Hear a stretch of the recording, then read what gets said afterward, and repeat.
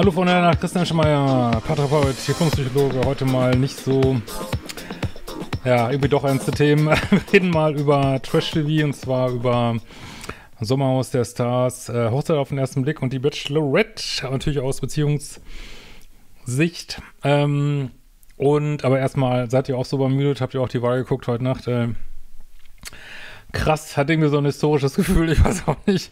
Vor allen Dingen habe ich jetzt noch äh, gehört, dass äh, morgen die Ampel scheitern soll. Äh, wow, dann weht aber wieder der Wind der Veränderung durchs Land äh, und durch Europa. Ich glaube, da müssen wir uns nah anziehen. Wenn ihr dazu noch psychologischen Beistand braucht, in Hilfe von Videos, äh, lasst mich gerne wissen. Aber genau, jetzt gehen wir erstmal in die Unterhaltungsbranche und fangen wir mal an mit ähm, Sommerhaus der Stars. Ich will da jetzt gar nicht so viel zu sagen. Für mich ist das einfach, ähm, sage ich ganz ehrlich, so der Abgrund. Ne? Ich weiß nicht, dass das verkommt einfach immer mehr von einer echt coolen Show irgendwie. Also natürlich braucht die ein gewisses Drama, äh, verstehen wir alle. Aber du siehst eigentlich wirklich nur noch komplett äh, bodenlose, dysfunktionale Kommunikation.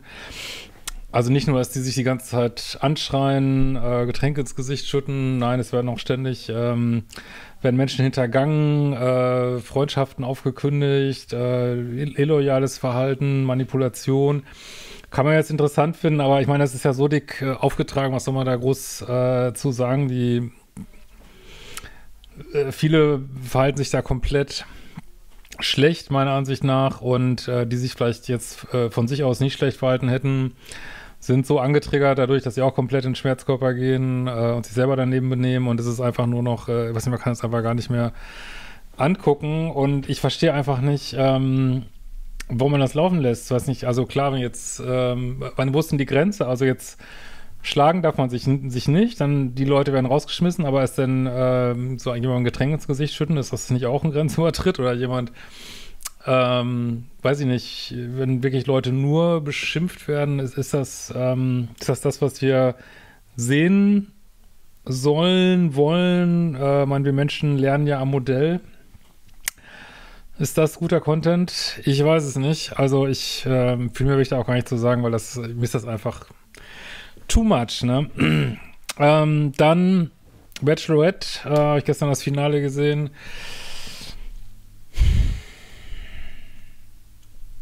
Mir hat das früher alles mehr Spaß gemacht. Ich fand das, äh, ich gestehe ja, dass das echt eine meiner Lieblingssendungen war, Bachelorette. Weil man auch so, äh, so Dating-Sachen gut sehen konnte. Und das ist aber, davon ist eigentlich nichts mehr zu sehen, seitdem die da Influencerinnen ähm, reinhängen, ne? Und die Influencerinnen, äh, warum sollen die einen neuen Freund haben wollen? Das behindert die ja nur irgendwie. Ähm, ist ja viel besser, so ständig wechselnde Sachen zu haben. Und wie gesagt, die Stella ähm, hat man sowieso ein bisschen das Gefühl, weiß nicht, dass wenn die alles machen für, äh, für weiteren Ruhm, ich weiß es nicht. Ähm, glaube ich, Playboy hat sie ja schon und ich weiß nicht, was alles. Und ähm, früher hatte sie, glaube ich, auch, ähm, hatte sie nicht auch OnlyFans oder so? Ich glaube, ja, ist auch, also jetzt nicht mehr auf jeden Fall, glaube ich.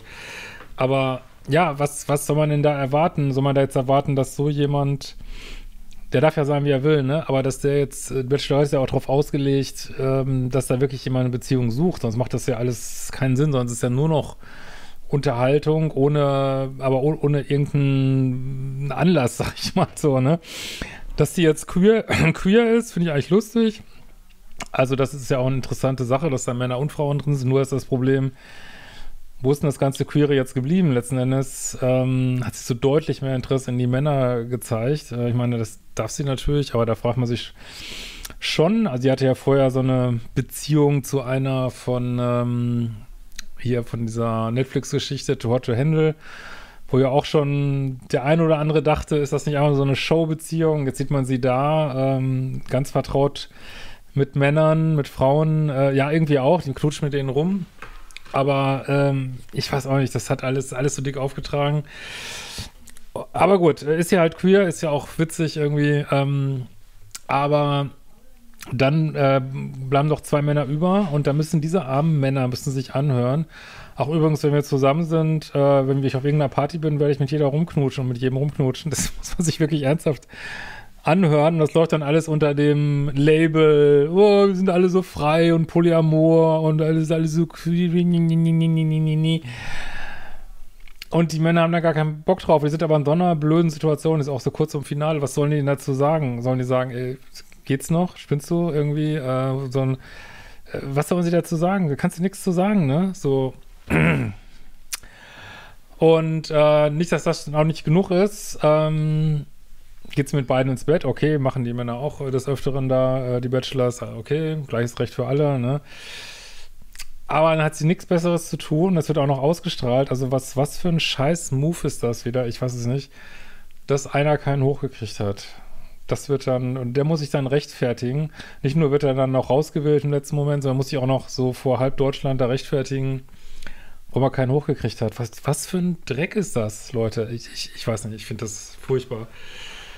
Gut, Hochzeit auf den ersten Blick. Als letztes noch, äh, wollen uns auch nicht zu sehr aufregen. Ähm, gute, tolle Unterhaltung, kann man wirklich nichts sagen. Ich finde, die, die Besetzung ist, äh, die passen da irgendwie so gut rein, die, ähm, die drei, die das machen. Hier, Sandra Kühldorfer und die anderen beiden. Ähm, ich finde die auch so als, äh, gerade die Sandra Kühldorfer, super sympathisch und kann mir gut vorstellen, dass das tolle Kollegen sind und also ich will das, will jetzt überhaupt nichts gegen die sagen, weil die, wie gesagt, erst immer so eine Unterhaltungsshow und dann weiß ich gar nicht, was, was die überhaupt damit zu tun haben. Vielleicht müssen, sind die einfach ausführende Organe, so wie so Schauspieler, sag ich mal, und äh, keine Ahnung, wie diese Produktion da läuft. Ähm, ich finde es, was ich auch gut finde, sage ich auch gleich, das sind nicht diese normschönen Menschen, wie sie in anderen Reality-TV-Shows sind. Also es ist sowas für die, was glaube ich auch so andere Altersgruppen gucken. Und das kann man echt gut angucken, so, ne? Vielleicht mache ich mir auch zu viel Gedanken darüber, ich weiß es nicht. Was mich immer wieder stört, ist, dass da gesagt wird, so, das ist das größte Sozialexperiment der Welt. Das glaube ich nicht. Also, was ist das für eine Aussage? Nur weil die da ähm, irgendwie zehn Paare zusammenbringst, ist das das höchste, das größte Sozialexperiment der Welt? Weiß ich nicht. Also, was ist das, das für eine Aussage? Also, so, dann geht's weiter mit, es ist alles wissenschaftlich. Also ich glaube jetzt nicht, dass man so wissenschaftlich schon so ganz ähm, sicher zwei Leute so zusammenstecken kann. Also natürlich äh, haben wir auch diese Dating-Apps, die haben alle irgendwelche Modelle. Wissen wir ja, wie gut die oder wie gut die nicht funktionieren, äh, dass das alles nicht so gut funktioniert. Und sicherlich gibt's, natürlich gibt's da Forschung drüber und da gibt's bestimmt auch Sachen, die man machen kann. Aber wir alle wissen, wie chaotisch so ein ähm, so ein Mating, also so, so ein Match-Prozess ist so, ne? Und wie, wie wenig der eigentlich vorherplanbar ist. Und äh, wenn du das wirklich ernst nehmen würdest, dann müsstest du auch zum Beispiel, ob Leute sich riechen können, dann müsstest du so äh, Immunparameter bestimmen irgendwie, immunbiologisch, weil, weil dann kann man gucken, ob die sich gut riechen können. So, das hängt ja viel mit dem Immunsystem zusammen. Äh, also, also das, das ist, kommt beim, vielleicht, wie gesagt, vielleicht äh, ist es auch egal, weil es aber gut, die sagen ja sowas, ne, da, weil es einfach eine Unterhaltungsshow ist. Und dann wird zum Beispiel, ja, wir machen was ganz Neues, wir machen jetzt hier, ähm, hier diese Abtastbilder, wo gucken Menschen hin auf so einem Bildschirm. So, und dann, dann können wir, dann können wir wissen, wen die Teilnehmer wirklich gut finden. Also wenn ich da jetzt 30 Fotos auf dem Bildschirm habe, das ist alles so Pseudo, dann brauche ich jetzt keinen Iris-Scanner, der guckt, wo ich hingucke. Ich kann doch einfach sagen, wie ich gut finde. Und wo, wo soll denn ein Mann hingucken bei einer Frau oder einer Frau beim Mann? Also was, was erwartet man denn dafür? Also ich weiß es wirklich nicht. Also das ist schon, äh, aber gut, kann man noch alles abbuchen unter, dass da halt irgendwas erzählt wird, was weiß ich. Aber ich weiß nicht, manchmal finde ich auch, dass das Psychologie in so ein komisches Licht rückt, so, aber keine Ahnung. Na gut, dann, aber was gar nicht zur Sprache kommt, was wir ja rauf und runter besprechen, sind so Bindungsthemen, ne? Also wisst ihr, wenn, wenn da zwei Menschen sind, die, die so normal attraktiv sind, so, ne? So mittelattraktiv, kann man ja, glaube ich, sagen. Wie einfach die meisten Menschen, ne? So, so eben der Mittelwert, so, ne? So, und die haben, äh, da kommen zwei Menschen zusammen, die haben seit zehn Jahren keinen Partner gefunden oder haben keinen Partner oder haben keine Beziehung gehabt. Da kann mir doch keiner erzählen, dass das Pech ist einfach. Also, weil dieses Pech, dass du, also auf einer höheren Ebene Pech, so, okay. Aber es ist doch nicht so, dass du einfach niemand gefunden hast, sondern du hast kann man, glaube ich, von ausgehen, dass du entweder, entweder irgendwelche Themen hast, so Richtung Bindungsangst, oder dass du irgendein Verhalten drauf hast, was andere vielleicht irgendwie nicht cool finden oder so. Aber das liegt doch nicht daran, dass du keinen findest, so, ne? Also nicht mal, also nicht mal so einen langen Zeitraum. so, dann steckst du zwei, anstatt dass man dann sagt, was ja auch meiner Ansicht nach die Forschung immer nahe liegt, einer sollte bindungssicher sein, ob das überhaupt abgefragt wird, weiß ich nicht. Äh, vielleicht machen sie es. Steckst du zwei so Leute zusammen, die zehn Jahre keinen Partner hatten oder, oder fünf oder ich weiß nicht wie lange und erwartest, dass das irgendwie gut geht. Und dann, äh, und da wie die Sendung halt so ist, äh, müssen die gleich heiraten und sofort eine Hochzeitsnacht verbringen, was natürlich gerade für Leute, die jahrelang keine Beziehung hatten, die können sich das ja wünschen, aber wir wissen ja alle, wie das ist. Man wünscht sich das und trotzdem ist man mit hoher Wahrscheinlichkeit komplett überfordert von sowas, ne? So, und dann sind auch noch Kameras dabei und wie kann man da erwarten, dass das äh, gut geht? So, ich, ich weiß es nicht, wirklich. Ich meine, die haben ja letztes Jahr wirklich, hat's ja, ich weiß nicht, ob die Filter noch zusammen sind, könnt ihr ja mal in die Kommentare schreiben, aber äh, haben ja viele ähm, die Serie überstanden. Das fand ich auch richtig gut, fand ich richtig klasse. Aber ich weiß auch nicht, wo sie das jetzt hinentwickelt, aber nach der ersten Show habe ich mir gedacht, Mann, ey, das, das, du kannst doch nicht einfach so zwei Leute, die irgendwie Themen haben, einfach so zusammenstecken und dann erwarten, weiß ich nicht. Das, also funktioniert auch Dating nicht so, ne? Das, also Dating ist doch, also wir haben ja schon so eine eingebaute Suchmaschine irgendwie, dann mit der wir arbeiten können und äh, ist, ich weiß es nicht. Ich weiß nicht, wie könnt ihr das schon mal schreiben, wie ihr das seht. Und das letzte, ähm, wenn man dann schon sagt, man macht ein Experiment, und das würde ich so richtig smart finden, ne? wenn das einer von denen hier mal guckt, weil zu jedem Experiment gehört eine Kontrollgruppe so, ne? Dann soll ich, dann match doch mal zehn Paare oder fünf meinetwegen und nehmt fünf andere von denen. Man, da melden sich ja auch immer tausend Leute an, vielleicht haben die eine gute Zeit, ich weiß es nicht, aber da melden sich tausend Leute an, aus denen entstehen zehn Paare, also für ganz viele ist es auch schon wieder vielleicht eine Enttäuschung, vielleicht finden sie es auch cool.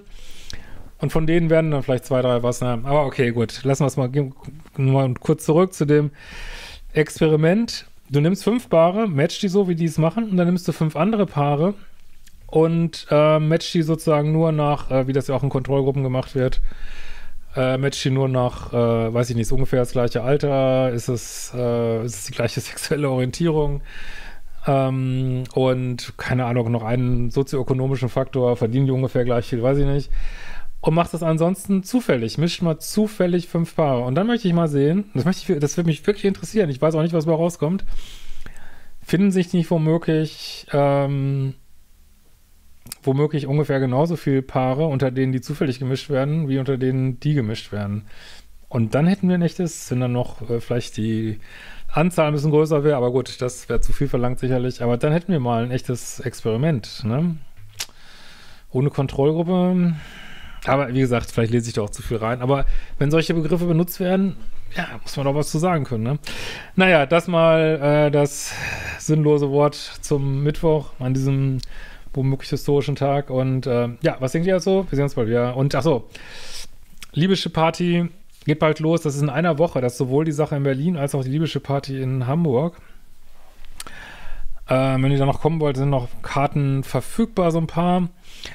Äh, mich haben Leute gefragt, was denn auf einer libysche Party zu erwarten. Naja, das ist, äh, ich werde wie so einen Mini-Vortrag halten. Ich werde, es wird ein bisschen äh, Lesung sicherlich auch sein. Es wird ein bisschen Meet and Greet sein. Es wird ähm, ein bisschen Dancing. Es ist auch ganz viel Zeit mit anderen zu reden, sich mit anderen Liebenschiplern zu connecten. Ich werde sicherlich, ähm, weiß ich nicht, zwei, drei, vier, fünf Übungen machen, Interaktionsgeschichten, dass man miteinander in Kontakt kommt. Ähm, ihr habt die Gelegenheit, mal mit mir zu reden, wenn ihr Buch signiert haben wollt, äh, Foto haben wollt, ist einfach auch noch mal viel mehr Zeit und äh, als bei einer Lesung, also typischerweise kommen da die Hardcore-Liebeschippler hin zu einer Liebeschipp-Party und das ist schon echt, ähm, die waren eigentlich immer ziemlich cool, muss ich wirklich sagen.